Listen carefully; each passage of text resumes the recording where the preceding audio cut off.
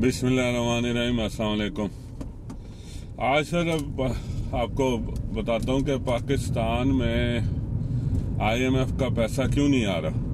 क्या वजह बन रही है जी? हर किस्म की कोशिश कर रहे हैं हुकूमत के कर्जा मिल जाए, हर उनकी बात मान रहे हैं। लेकिन कोई उनकी तरफ़ से कोई कर्जे की कोई खबर नहीं, कोई पैसे की कोई खबर नहीं आ रही। थोड़ा सा डिटेल में बताऊँगा। अच्छा इन जो आईएमएफ का तरीकाकार ये है कि ये कर्जा देते हैं, लेकिन ये हुकूमत से जो जिसको कर्जा देते हैं, उससे चाहते हैं कि आप हमें इतना अपना कैलकुलेशन करके दिखाएँ कि इतनी देर में ये आप अर्निंग कर सकते हैं, इतने पैसे आप वापस कर सकते हैं। तो सिंपल वो एक हदफ मांगती है कि अगर आप वन अरब डॉलर या इस तरह का अमाउंट ले रही हैं तो कितने अरब आप या कितना पैसे आप अपनी इकोनॉमिक से, अपने पाकिस्तान चलाने से किस तरह वापस कर सकते हैं? बेसिकली उन्होंने एक हदफ मांगना होता है। इसमें वो कुछ नहीं होता कि आपने पेट्रोल की प्राइस बढ़ानी है या आपने गैस की प्राइस बढ़ानी, लेकिन ये गवर्नमेंट के ऊपर होता है कि क्या चीज़ को मेंटेन करें। यही आईएमएफ था पीटीआई की गवर्नमेंट में। उसने अपना हदफ दिया हुआ था कि हम इस तरह पूरा कर रहे हैं पैसे। हालाँकि वो पेट्रोल ले के प्लस अपनी तरफ़ से पैसे डाल के हुकूमत को दे रही थी। लेकिन बहरहाल ये बात जो हुकूमत कहती जी, उसकी वजह से हो गया है। हमने पेट्रोल की प्राइस बढ़ाना पड़ रही है। ये ये ये सिर्फ़ झूठ है। ये, उनको पास टोटल अमाउंट चाहिए होती है। अच्छा अब आ, सारी चीज़ें तो इन्होंने बढ़ा दी हैं। इन्होंने पेट्रोल इतना ज़्यादा कर दिया ऊपर टैक्स भी लगा दिया। यानी हर एक टैक्स से वो बताते हैं कि साल में या इतने महीने में इतने अरब या इतने करोड़ रुपया मिल रहा है। ठीक है? तो अब वो किस तरह यानी ये डील कर रहे हैं कि फिर भी वो पैसे देने को तैयार नहीं है? वो एक जो आईएमएफ की जो पार्ट जो तंजीम है, वो जो आईएमएफ वो इनका एक लोअर या छोटे मिडल ओहदे का जो पर्सन है, वो क्लर्क था, वो इनसे जूम पर मीटिंग करता है। हम पाकिस्तान के जो फाइनेंस मिनिस्टर या फाइनेंस के जो भी डिपार्टमेंट से। और वो भी एक डेट देता है और उस डेट से पहले वो एक रिक्वायरमेंट अपनी चेक लिस्ट वो दे देता है कि ये ये चीज़ें जमा करा दो, उसके बाद आपसे मीटिंग होगी। तो ये एवरीथिंग इन्होंने हर दफ़ा जमा करा देते हैं जी, ये भी कर दिया, अब इससे हमने इतना पैसा इकट्ठा कर लेंगे और बिजली का देखो हमने इतनी प्राइस बढ़ा दी है। यानी हर काम जो वो यानी पैसा बढ़ाने के लिए पैसा कलेक्ट कैलकुलेशन कर, करके वो बताई जा रहे हैं कि ये भी हमने बढ़ा रहे हैं ये भी बढ़ा रहे हैं। लेकिन एंड ऑफ़ द टाइम वो पैसे देने को अभी तक तैयार नहीं है। एक तो बात ये वादे आई कि इनको पेट्रोल बढ़ाना या गैस बढ़ाना उससे इनको कोई मतलब नहीं इनको टोटल अमाउंट चाहिए जैसे मैंने पहले बताया। अच्छा अब अब उनका क्या प्रॉब्लम है कि ये इतनी हदफ, इतना बड़ा अमाउंट करके भी वो पैसे नहीं देने को तैयार। अब मैं बताता हूँ। अब इनको ये सिश्योरिटी चाहिए कि हमारे मुल्क में, पाकिस्तान में क्या करप्शन तो नहीं खोल खोल दी गई कि इतनी करप्शन हो कि आप जो भी पैसा इकट्ठा करें या जो भी हो, वो तो आप यानी रिटर्न ही नहीं कर सकेंगे। आईएमएफ को दे ही नहीं सकेंगे।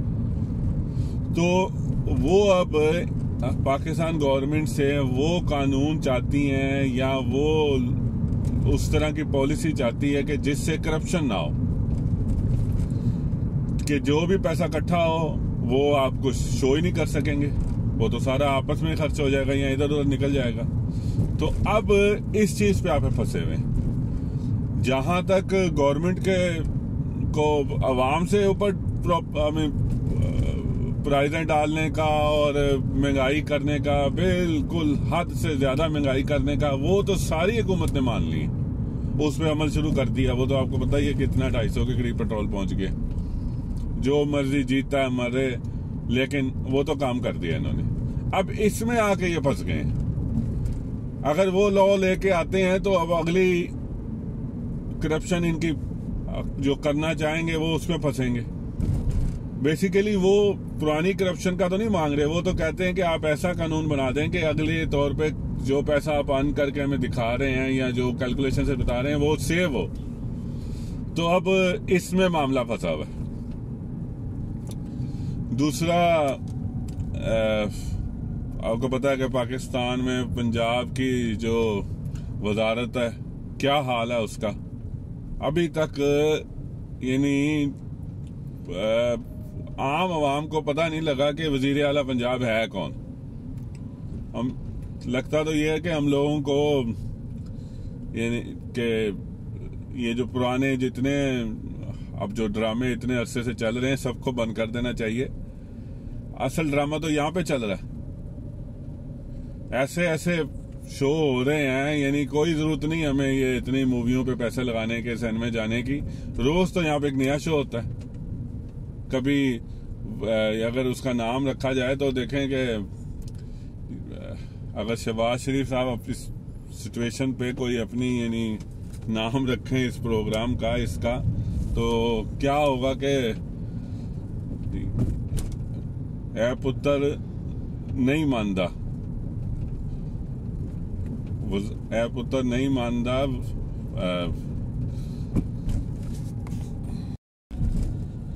ए पुत्र, वजारत के बगैर नहीं मानदा जमहूरियत रह गई विचकार कुड़े।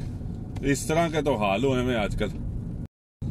दूसरा नाम हो सकता है आजकल के मुताबिक इमरान दी खड़ाक। फड्डा शहबाज दा। बहरहाल, इतने सख्त हालात हैं और इतने प्रोटेस्ट हुकूमत के खिलाफ इतना कुछ सोशल मीडिया पे बड़ा बड़ा बड़ा लेकिन इस बात पे शाबाश देनी चाहिए कि गवर्नमेंट को जो मर्ज़ी हो रहा है, वो अपने काम में लगी हुई। हुकूमत कर रही है, हुकूमत चला रही है। जो मर्ज़ी पंजाब का हो रहा है, वो वहाँ पे वज़ीर आला भी बना हुआ है, सब कुछ हो रहा है। ये तो समझ लेना कि इस बात की ज़रूर शाबाश बनती है। इतने स्क्रीनें लगी हैं जी, इमरान खान के, जो जलसा कॉल किया। और, क्या क्या नहीं समझ लें क्या क्या नहीं उसने बोला। और कहाँ कहाँ से उंगली नहीं उठी। किधर किधर न्यूट्रल का ज़िक्र हुआ, लेकिन हुकूमत अपनी जगह, वो काम कर रही है। कोई जीता, मरे, कुछ भी हो, गरीब के साथ, बहरहाल। वो हुकूमत अपने काम में लगी हुई है। अल्लाह खैर करे, बस इस वक्त तो समझ लेंगे दुआ का एक टाइम है। अल्लाह ताला हम पर रहम करे, हमारे मुल्क पर भी रहम करे और हमारे लिए कोई अच्छी खबर लेके आए। बड़े दिन हो गए कोई अच्छी खबर सुने में पाकिस्तान से। अलैक्म